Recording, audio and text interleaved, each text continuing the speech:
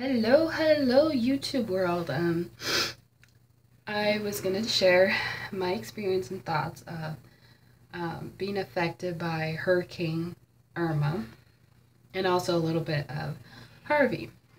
And so let me just get in the video and share what my thoughts and my opinions of going through it because I actually went through it.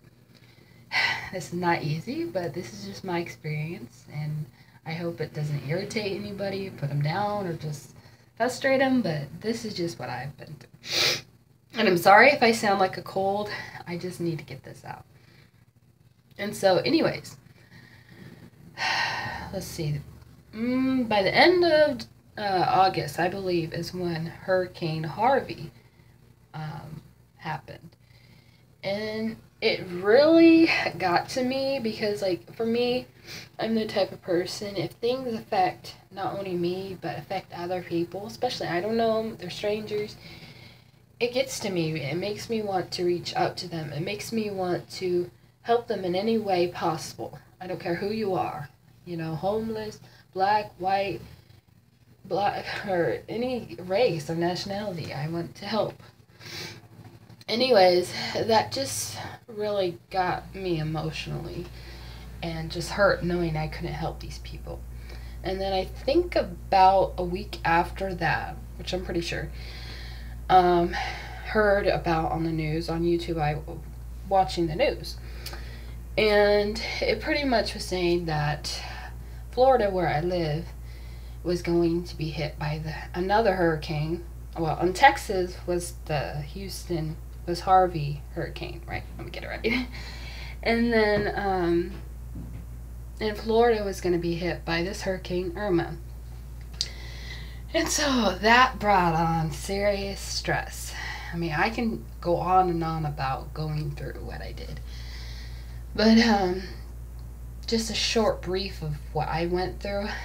When I heard the news that that was going to happen, it really set me off. It triggered me and upset me because I'm thinking, okay, I wasn't the type of person when I heard the news, I was like, why is this happening to me? I was like, okay, if it can happen to Hurricane Harvey, it can happen to us. So I was devastated. You know, I'm going to lose everything. I'm going to be without no food, no power, no nothing.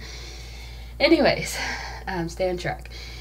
The next thing that happened was um, some of the people I was with and living with weren't very serious. Some people weren't serious, and people even said in Houston that they weren't serious, and then it hit them.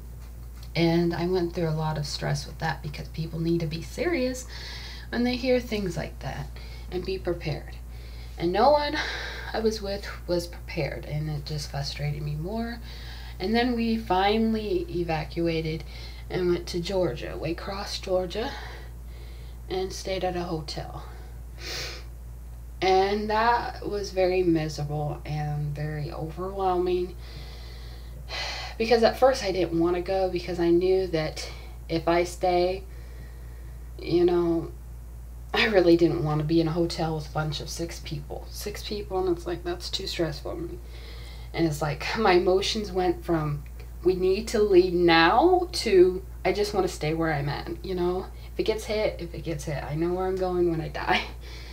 And then all of a sudden we left, we went to the hotel, and it happened to be one of the last rooms that we stayed in at the hotel, and it was a smoking room, and I think that's why I got sick a little bit. Anyways, um, it just really frustrated me the most because we weren't prepared for it. And like for me, knowing how I am as a person, even before that happened, the whole hurricane and everything happened, I'm the type of person I like to be on top of things. I like to make sure I have stocked up on food, money set aside for different things, rainy days, disasters, of course, you know? And it's like I was in that situation. And some people look like, well, you moved there with people you didn't really know. And I get that. I heard that million times. But the thing that got me was just the frustration of it all. You know, and then staying with people that I'm not comfortable with. And it's like, it was just so frustrating. All I could do was just hope for the best and pray, pray really hard. And then finally, we left the hotel, came home, and I knew, like, I hopefully it gets better, but no power. So for two days, we went without no power, and then finally yesterday morning, there was power. And I would, I've got to say, just to end and conclude what I'm saying about my experience of actually being in a hurricane and the the whole thing, and just maybe advice for anybody that may in the future go through it, or just just would like to know what it was like. My advice is make sure you're prepared now for any devastations that may happen, whether flooding, whether hurricanes, whether tornadoes. Make sure you have your stuff together. Make sure you budget things in order so when things do happen, you're not like, I didn't prepare for anything. No, you need to be prepared for anything. And you everybody plans different for different things, vacations and stuff. I'm just saying in my experience, make sure you're prepared. Number 2, um do the best you can through it. That's only what I gotta say is do the best you can. You know, sometimes, like for me, I was put in a situation I had to be with people I did not feel comfortable with. Irritated me, they aggravated me, but I've learned through that, you know, it wasn't as bad as I thought it would. And it could have been a lot worse, but I learned that, you know, sometimes you've got to be in an uncomfortable situation or environment and you may not like it, but you have to make it, make the best of it. And then the whole thing with not having power, I've learned through that is sometimes things happen, honestly. Sometimes things happen that are out of our reach, out of our control, and we're just blown away by it. And we just want to hide in our shell or hide in a dark room somewhere. Lock me up. I don't want to ever come out. But I've learned you've got to be thankful for what you do have, and it's it's so hard when you're going through things in life, or to look at your present situation and like, why does so and so have it better than I do? Why do I always have the worst case of scenario? Sorry, I almost messed up my word.